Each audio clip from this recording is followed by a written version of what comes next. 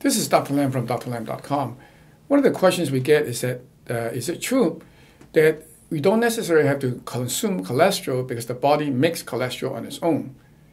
To answer this question, we really have to understand what cholesterol is all about and the good and the bad cholesterol.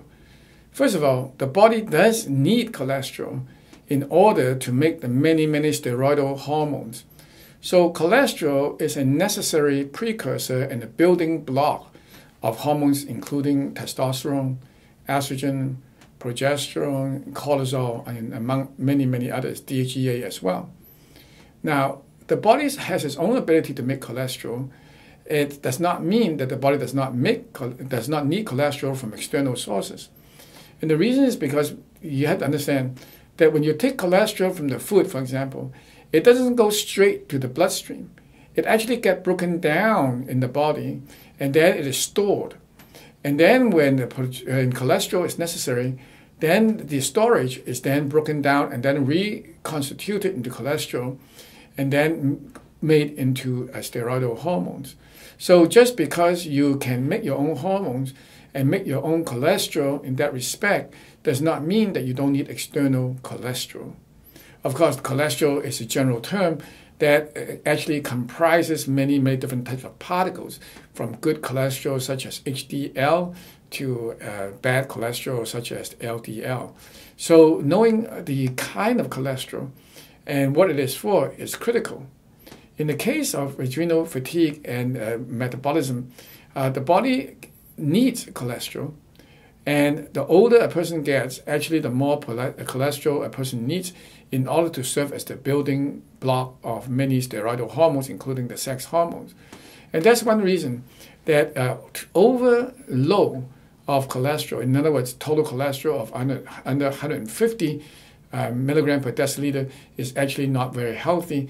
And studies have shown uh, that uh, too low a cholesterol can cause cancer uh, or be associated with certain types of cancer. Of course, high cholesterol, when it is not in the right kind of cholesterol, can also be problematic, and that includes uh, LDL, for example. So, cholesterol is a complex subject. It has many ramifications. Uh, for more information, you can go to my site at drlam.com, and I've written a few articles on, on this, including one called uh, a, a Big Fat Lie and another one called Cholesterol. And these are very um, physiological based articles that kind of uh, go through with you what cholesterol is all about, the mechanisms of how it's broken down and how it's reconstituted, the importance of having the right balance, and what does it really say about your cardiovascular system as well as your hormonal structure. Cholesterol is much more than just a plug arteries.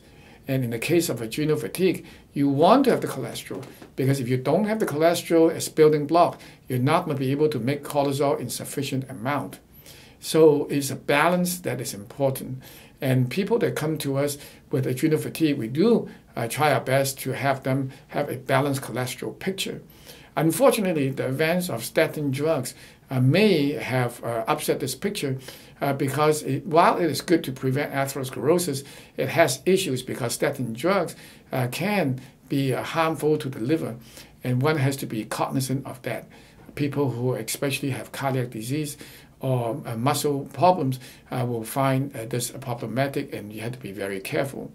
So, all in all, cholesterol is a general term. It is good and it is bad. You need it, but you want to have good cholesterol. You don't want to have fat, and you want to have cholesterol that is good, such as what is happening and what you find in eggs, for example. The egg yolk, for example, has high cholesterol, but it's good cholesterol provided that you don't overcook it. At the same time, there's fat that can contribute to the rest of the lipid picture. So when you combine all the pieces together, you will find that cholesterol need not be something you be afraid of. You want to have good cholesterol, and good cholesterol is your friend. I hope you've enjoyed this video. For more information on this topic, head over to drlam.com where I've written over a thousand articles to help educate people.